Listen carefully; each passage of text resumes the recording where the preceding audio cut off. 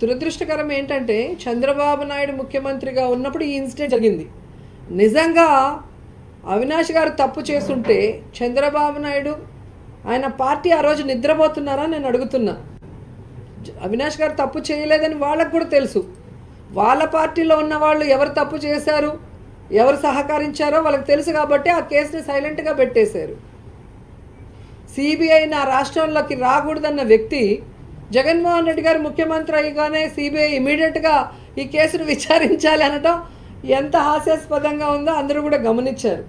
And Avinash గారు లాంటి soft person నేను సిబిఐ విచారణకి ఎప్పుడు పిలిచినా వస్తాను. ఏం అడిగినా నాకు తెలిసినది చెబుతానని చెబుతున్నా కూడా వాంటెడ్గా టార్గెట్ చేసి మానసికంగా కృంగదీయాలన్న ప్రయత్నంతో ఏ విధంగా ఆ విచారణని అంటే పచ్చ ఛానళ్ళు ఏవైతే చెప్తున్నాయో అదే విధంగా సిబిఐ కూడా విచారణ జరపడాన్ని చూస్తేనే మనకు అర్థమవుతుంది. అలాగే కొన్ని ఛానల్స్లో ఎవరైతే ఈ హత్య చేశానని చెప్పాడో ఏ విధంగా చేశానని చెప్పాడో అతను రైట్ రైల్గా కూర్చొని అన్ని ఛానల్స్లో మాట్లాడుతున్నాడు బయట తిరుగుతూ. తప్పు చేయని అవినాష్నేమో ఏ విధంగా చిత్రీకరించి ప్రజల దృష్టిలోకి తీసుకెళ్తున్నారో మనం చూస్తున్నాం. అలాగే సస్పెండ్ అయిన ఒక వ్యక్తి సాక్షాత్తు లక్ష్మణ్ గారు జడ్జి గారిని ఏ విధంగా మాట్లాడారో మనం కళ్ళారా చూసాం.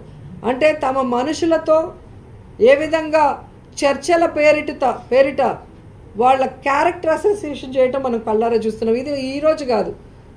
ఎన్టీఆర్ గారి కాలం నుంచి ఇదే చేస్తున్నాడు చంద్రబాబు నాయుడు. సో ఇప్పటికైనా జడ్జి గారు లక్ష్మణ్ గారు చాలా గట్టిగా రిటర్న్గా ఇవ్వటం జరిగింది. సో ఇక ఎవరు భయపడే పరిస్థితి లేదు. సో ఎవరో ఒకరు ముందు రావాలంటారు. అది జడ్జి గారు రావటం జరిగింది. సో చంద్రబాబు నాయుడికి బ్యాడ్ టైం స్టార్ట్ అయింది.